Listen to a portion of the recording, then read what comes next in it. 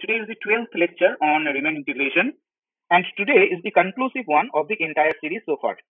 So far, we have seen Riemann mathematicizing the concept of finding the area practiced by the engineers for a very long period of time in the history. But his works were not mathematically elegant or easy for further investigations. That is where Darboux came in. He tried to simplify Riemann's job with his idea. In this process, we have come up with two definitions of integrable functions, one by Riemann and the other by Darboux. In the last couple of lectures, we have developed enough machinery to prove the equivalence of these two definitions. And today, we are going to give everything a satisfying finish. This proof of equivalence of these two definitions has motivated us in the last few classes. When today we are doing it finally, we do not require any more motivations. Hence, we expect a fairly technical round of arguments today. So please pay your attention. Okay, so uh, we start with the two definitions, recollecting the two definitions at first. So Riemann said the definition of an integrable function as it is integrable if we find a real number AF, which is actually the area, such that for all epsilon positive, we find a delta such that for all tagged partitions with norm less than delta, the Riemann sum with respect to the tagged partition of the function f is epsilon close to the number AF where the Riemann sum is P bar F is defined as this one. Now, Darboux simplified this uh, function is integrable if and only if lower integral is equal to upper integral. And Darboux worked with bounded functions because after Riemann gave his definition, we have seen that a function has to be bounded in order to be in Riemann integrable, integrable in the Riemann sense. So since Darboux was basically simplifying Riemann's idea, so he did not have to work with unbounded functions. So he started with bounded functions. So this has been our definition. So we will show that this definition implies this and this definition implies this. So these are two theorems which are going to we are going to see today. First one, uh, a fun bounded function is integrable in the sense of Darboux, then it is also integrable in the sense of Riemann. Also, the two integrals agree. What do I mean by two integrals agree? This one lower integral is equal to the upper integral.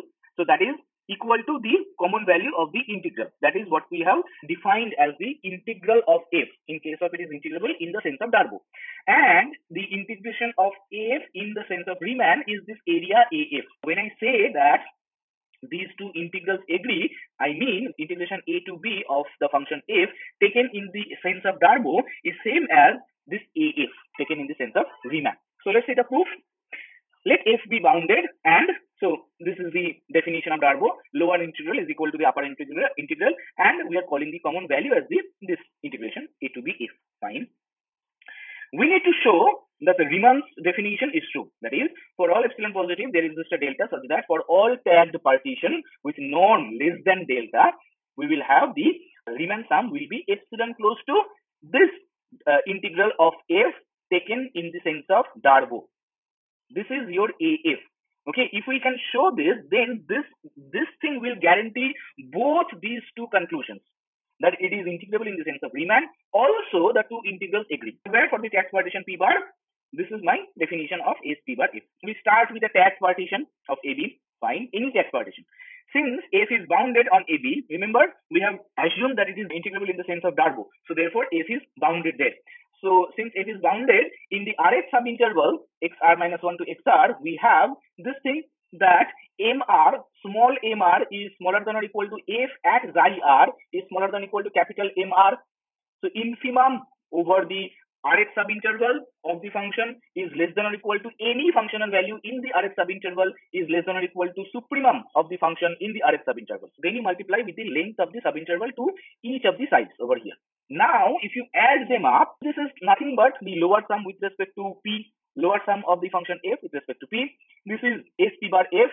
This is Riemann sum, and this is the upper sum of f with respect to b. We call this term. Understand one thing. This lower sum and upper sum, they are without the tags and this is Riemann sum is with the tags. This inequality is true for any choice of tags in the partition P. Now we have lower sum with respect to any partition P is smaller than or equal to the lower integral.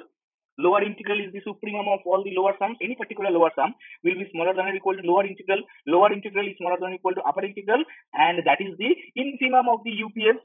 So that inequality is there. But now since f is integrable in the sense of Darboux, lower integral is equal to the upper integral equal to the integral. So this inequality holds true. So this is my star and this is my double star. Fine. Choose epsilon positive, chosen. As f is integrable in the sense of Darboux, by this corollary that we did the other day that f is Riemann integrable if and only for every epsilon positive there exists a delta such that for every partition with norm less than delta we have UPF minus LPF is smaller than epsilon. So as f is integrable in the sense of Darboux by this that corollary we get a delta such that for every partition P with norm less than delta we must have this one UPF minus LPF is smaller than delta. So we are using the necessary part of that theorem. If you remember, I told you that this one is a stronger necessary statement and a weaker sufficient condition. Hence, by these two, the star and double star, we conclude that for any tagged partition with norm p less than delta, we have this thing happening. What, what is happening? You see, the Riemann sum and this integration, they are bounded between the same two quantities LPF and UPF. So their difference will be smaller than or equal to the difference between UPF and LPF. The difference between UPF and LPF is smaller than epsilon for any choice of the partition P with norm less than delta. Now, if the partition has got norm less than delta, any choice of tags in the partition P will not hamper the norm of the partition. So therefore, for any tagged partition p bar with norm p bar less than delta, both these inequalities will be true and this one will be true. So therefore, we will have the Riemann sum minus integral a to b of f is smaller than epsilon. And that proves our theorem. So half job done. Darboux implies Riemann. This is done. So next is Riemann implies Darboux. So if f is integrable in the sense of Riemann, then it is integrable in the sense of Darboux. Also, the integrals agree. So f is integrable in the sense of Riemann. So limit as norm p bar tends to zero, the Riemann sum of f with respect to p bar is equal to af. So let this thing holds true. Choose epsilon arbitrary, fine. So then there exists, so I have just written the definition over here, then there exists a delta positive, so that for any tagged partition p bar with norm p bar less than delta, we have s p bar f minus af is less than epsilon by 4. Now, at this point, I want to make a comment that do not be frightened about this epsilon by 4. I have chosen this one epsilon by 4 after back calculation. Okay, so when you are doing it, you can very well start with epsilon only. Now, so what we need to show? We need to show AF is equals to integral A to B F, where the integration is taken in the sense of Darboux. This is our goal. That AF is equals to integral A to B F, where the integration is taken in, the, in the sense of Darboux. Now, remember, understand one thing. By writing this AF is equals to integral A to B of F, I also imply that the function is integrable in the sense of Darboux and the integrals agree. Because when the integration is taken in the sense of Darboux, this notation makes sense only when the function is integrable. That is, lower integral is equal to the upper integral. Otherwise, this notation does not make sense in the sense of Darboux.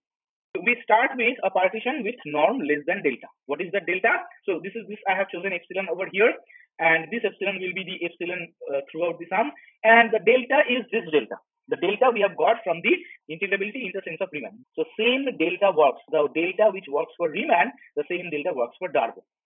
So let P be a partition with norm P less than delta. We are going to show that this P will give us UPF minus LPF is smaller than epsilon. Now, since F is integrable in the sense of Riemann, it is bounded, fine. Since for every R, every subinterval R, MR is the infimum of the function in the R subinterval and capital MR is the supremum, we have points alpha r and beta r in the subinterval. Now understand one thing. We need to bring some points of tags over here. Some particularly chosen tags. We are going to use the definition of infimum and supremum in each of the subintervals and get some tags in there. How? This way that this is the infimum in the R subinterval. Infimum is the greatest lower bound. So I have increased that to some more extent. So this cannot be a lower bound anymore. So there must be a point which is smaller than this value. This is coming from the definition of infimum. So alpha R quantities are for the violatory points for the infimum. So epsilon over 4 times B minus A. So B minus A, you will see why have I, have I chosen B minus A. Now this epsilon by 4 is, is to keep it uh, in sync with this epsilon by 4. Okay, so that after a everything will come epsilon. You can also choose epsilon over here. Okay, but this b minus a you keep, this will be come handy later. This is the case for the infimum. This is the case for the supremum. This is the least upper bound. Supremum is the least upper bound. This has been reduced further by this amount and this cannot be an upper bound anymore. So this must be exceeded by functional value at some point in the RH subinterval. We have got two sets of tags. One with the alpha points and one with the beta points. Both alpha R and beta R, they are there in your RH subinterval. But we are considering the alpha points as one choice and beta points as one choice of tags.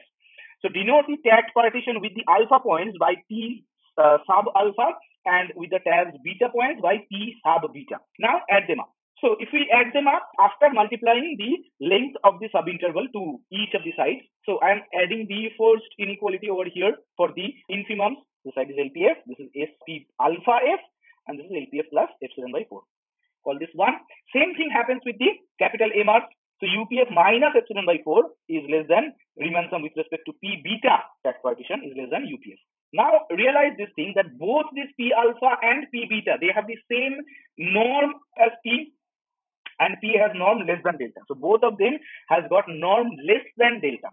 Hence, star holds for both the tag partition uh, P alpha and P beta. What is star? The uh, Riemann sum with respect to those tag partitions will be epsilon by 4 close to AF. This is your star. So we are working under this hypothesis and we have got partitions which are norm smaller than delta. So that is why they will be well behaved like this. So SP alpha F minus AF, the distance will be smaller than epsilon by 4. Also SP beta F minus AF, the distance will be smaller than epsilon by 4. In that case, what we get, so if we break these two things, these two inequalities, so we get AF minus epsilon by 4. This is this, SP alpha F less than AF plus epsilon by 4 and same thing happens for SP beta F as well. Then from 1 and 2, 1 and 2 means these two inequalities, what we get is AF minus epsilon by 4 less than SP alpha F and SP alpha F is smaller than LPF plus epsilon by 4. So I'm combining these two inequalities, this inequality and this inequality. Okay, I'm taking the left hand side from this inequality and right hand side from this inequality. So AF minus epsilon by 4, this thing SP alpha F is less than LPF plus epsilon by 4. And I'm doing, doing the other way down for the other one. So I'm taking the UPF from this one, from 2 and the rest of the part from here. So now if you remove this part, then you get AF minus epsilon by 4 is less than LPF plus epsilon by 4. Now you pass this epsilon by 4 to this side. So this, this is AF minus epsilon by 4 minus epsilon by 4. So this is AF minus epsilon by 2. So AF minus epsilon by 2 is less than LPF. So that is what we get from this inequality. So AF minus epsilon by 2 is smaller than LPF. From here, we get do the same thing and get if you if you pass this epsilon by 4 to this side, so it will be AF plus epsilon by 4 plus epsilon by 4, that is AF plus epsilon by 2. So UPF will be smaller than AF plus epsilon by 2. So UPF is smaller than AF plus epsilon by 2. And this is this always happens that LPF for any partition, LPF is smaller than UPF. Now AF minus epsilon by 2 and AF plus epsilon by 2. So the total distance of these two bounds is epsilon so that means since these two are intermediate points in the in that interval, so their difference must be smaller than the entire interval. So UPF minus LPF is smaller than epsilon. Therefore, by this theorem, I mean we could have used any of the theorems. This one that it is Riemann integrable for a one partition, UPF minus LPF is smaller than epsilon. That one partition is the one particular partition with norm smaller than delta. And by the choice, you know, this is this could could have been taken as any arbitrary partition with no, norm smaller than delta.